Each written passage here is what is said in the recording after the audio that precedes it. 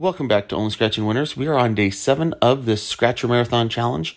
We can't believe we've made it a whole week on 50 bucks and we keep rolling over our wins each day. So yesterday we won $30. So today we got 15 of these new California lime and orange twist tickets. So if you haven't yet, check out Shockin Scratchin. He is also competing with us today.